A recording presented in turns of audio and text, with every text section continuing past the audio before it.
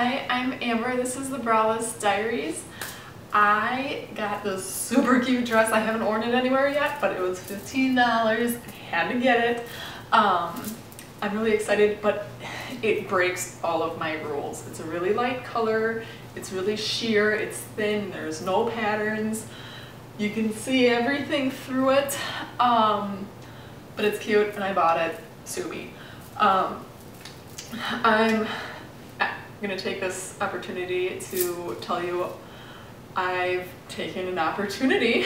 um, again, nobody knows that I'm doing this yet, and my sister was giving away some of her old bras. It was like nine bras, and she's like, I don't wear these anymore. Here, you take them. And I'm like, okay. Some of them were in good shape. And I was like,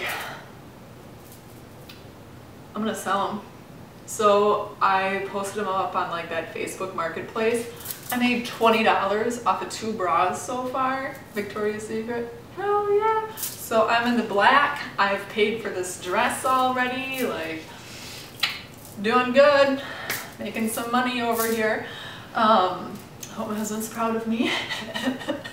Selling some secondhand bras to uh, third hand or however that's gonna work. I don't know what you'd call that.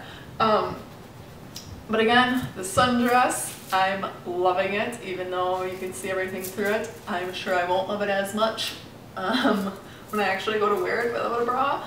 Um, I don't know if I'll slap pasties on. I'm, I'm not gonna do it.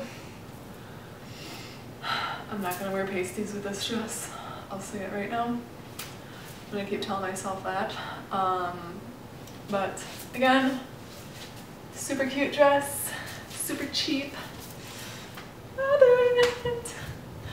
Um, so if you found anything in this video helpful or entertaining, uh, hit that like and subscribe button and thanks for watching.